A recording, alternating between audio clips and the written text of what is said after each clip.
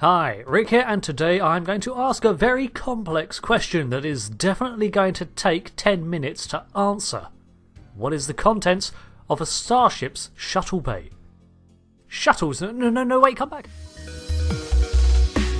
So, yes, obviously shuttles, which I will be looking at, but I was also talking about other vessels and the like that a starship would carry. Of course, these vary with the type of vessel too. Craft such as the Galaxy class had three shuttle bays, with two in the main hull and one large one at the rear of the saucer section. Something smaller, like an Intrepid, only had a single shuttle bay, and it was a rather conservative one at that. Generally, however, a large starship would have a loadout of four types of small craft, not counting personal vessels or the captain's yacht. We'll start with those craft with the shortest range and single purpose, the worker bees as they are known. These can come in several varieties and have been part of Starfleet's workforce since practically its inception.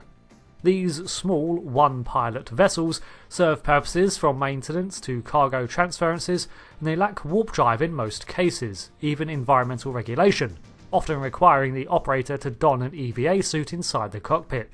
In the mid 23rd century, these small craft were equipped with manipulation arms which themselves featured numerous tools. These tools were interchangeable and adapted for various small tasks, but could include cutting lasers or plasma torches for slicing into ship hulls or cutting up debris. They were deployed to repair external damage, salvage operations, or even to ferry cargo. Basically, small utility craft. By the late 23rd century, around 2268, these had been phased out in favour of the Cargo Management Units, CMUs, that were in operation at starbases such as the San Francisco Fleet Yards, before expanding to see regular duty aboard ships. These served the same purpose as the early worker bees, even adopting the name, but originally had a focus on transferring large amounts of cargo via their stronger impulse engines. However, when these vessels were outfitted with manipulator arms too, it would have been apparent that they served equally well in ship maintenance and construction. By 2319, these new craft were part of every new starship's complement, and soon a regular inclusion aboard starships in general. Much like their predecessor, their arms could be removed or changed for a variety of other tools. However, for the most part, they lacked an internal atmosphere, allowing the spacesuit clad pilot to easily enter and exit the capsule to conduct affairs with greater finesse if needed. I guess. Large ships like the Galaxy class often carried around four of these small ships for maintenance. The next craft we see are the shuttle pods. These are defined as non warp capable that are smaller than shuttles and designed specifically for ferrying people. Usually, two people would crew these craft, but they could hold up to four.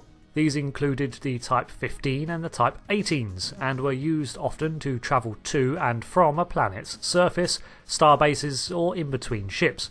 Basically, any time warp was not required.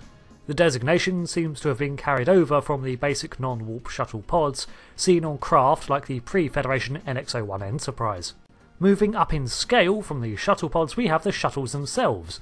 These were the primary warp capable subcraft of a starship and made up the majority of the capacity of a shuttle bay. Space stations and the like did maintain a supply of them, but due to their long range nature, it was actually less common to see them in use around starbases, where shuttle pods and other specialised inspection craft did just fine. There are so many types of shuttles to warrant their own video, but generally they fit into two categories big and small.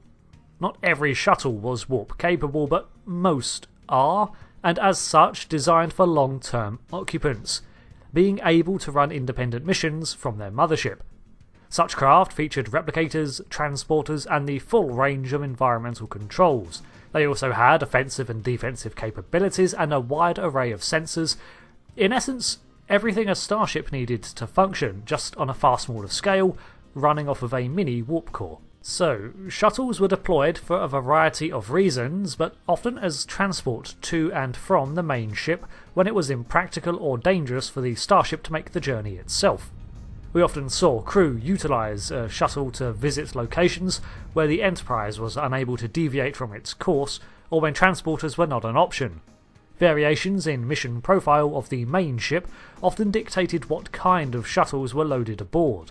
For example, there were specific medical orientated shuttles, survey craft, and even experimental ones, and ones designed to deploy ground vehicles.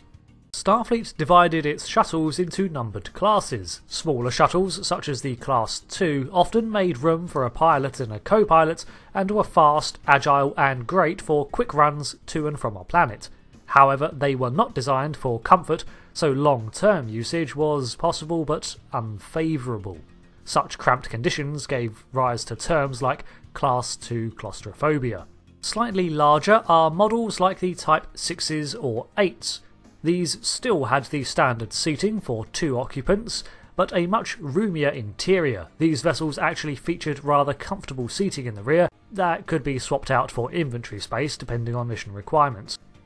A Class 6 was given to the time displaced Captain Scott, and if I had to speculate, I think that these sorts of ships were given out when a mission was expected to take longer than a day or so.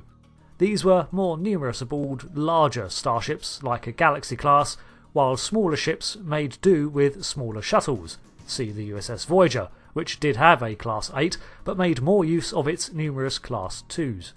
Getting larger, we have the Type 7s and 11s. These bigger shuttles were more personal centric craft made for ferrying multiple people for whatever purpose, often termed administrative. This would likely have been for diplomatic duties. The Type 11, however, was designed to be a large, multi mission vessel with a high degree of adaptability and maneuverability. These vessels saw implementation in the Sovereign class starships and beyond, likely meaning that their design and function was influenced by the preceding Dominion and Borg threats. Even the shuttles were beefed up. Larger than shuttles is the subclass of shuttle known as the runabouts. The first of this classification was seen in the Danube class runabouts allocated to Deep Space Nine and similar Federation outposts. But large vessels, again such as the Galaxy class, would house several within their hangars as they became more common. Space stations often had several of these in their bays, as do outposts. Being practically immobile locations, these larger shuttles were the answer to long range travel in the area. The runabouts are basically a small starship. They not only feature all the standard systems of a shuttlecraft, but also several amenities, such as more private cabins, and mission specific rooms that could be outfitted with small labs or tech bays. These were designed to run missions completely autonomously for weeks, maybe even months at a time, and as such had to remain comfortable for an extended stay. The downside was that they were often rather slow, but could be modified for increased speed. All of these shuttles, runabouts, and worker pods were capable of operating in atmosphere, as well as the depths of space, and several could even be modified to work under greater pressures than a standard M class. Alongside the vessels themselves, the Starfleet's shuttle bays had maintenance pits that could open up to allow the repair or modification of their inventory of small craft, and some vessels had industrial replicators that could be used to manufacture entire components to replenish their supply. While the maintenance bays or hangars were found on all vessels large enough to accommodate shuttles, the industrial replicators were less frequent, and some vessels would simply have to scrap damaged small craft, then resupply at the next opportunity. Shuttles of any size, from the small Type 15s to full runabouts, could be independently named from their mother ship. Although the Danube class were granted their own independent registry number alongside their name, smaller craft retained the registry number of the starships to which it was assigned, and were simply differentiated by a number. This marks a distinct difference in designation, where shuttles were regarded as little more than infantry, and runabouts as basically a whole starship, despite serving similar purposes. Shuttle bays on starships had various methods of storing their craft too, with some being held in bays akin to parking lots, where the floor space was not a concern, while other ships could retract them into compartments such as beneath the floor or behind walls. Many vessels would retain some empty space, however, for the arrival of visiting craft or any other needed ships that may be encountered, so a starship's capacity for shuttles was often higher than what was being utilised. Something like a Defiant class, a small vessel by itself only 170 metres, actually had a special type of compact shuttle called the Type 10, or Chaffee shuttle pod, designed for it. These were as utilitarian in design as their mothership and were less than 10 metres long. The Defiant carried only four, while a Galaxy class starship carried routinely eight shuttlecraft, eight shuttle pods, four worker bees, and had room for one, maybe several runabouts. This is unlikely to even be its full capacity, as some specs dedicate an entire deck to shuttle storage, which would allow for dozens more.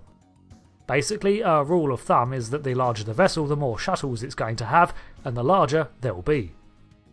So, there we have it, a breakdown of the standard small craft that you'd find aboard a Federation starship, and the reasons for their variety in design. While the exact loadout would vary from ship to ship and even mission to mission, these are the most common things you'd find down there. Thanks for watching this video on the subject, and I'm currently exploring topics around this sort of thing, so that's why I'm not going into specifics on the shuttle types themselves here. Thanks again I've been Rick, and until the next video, goodbye.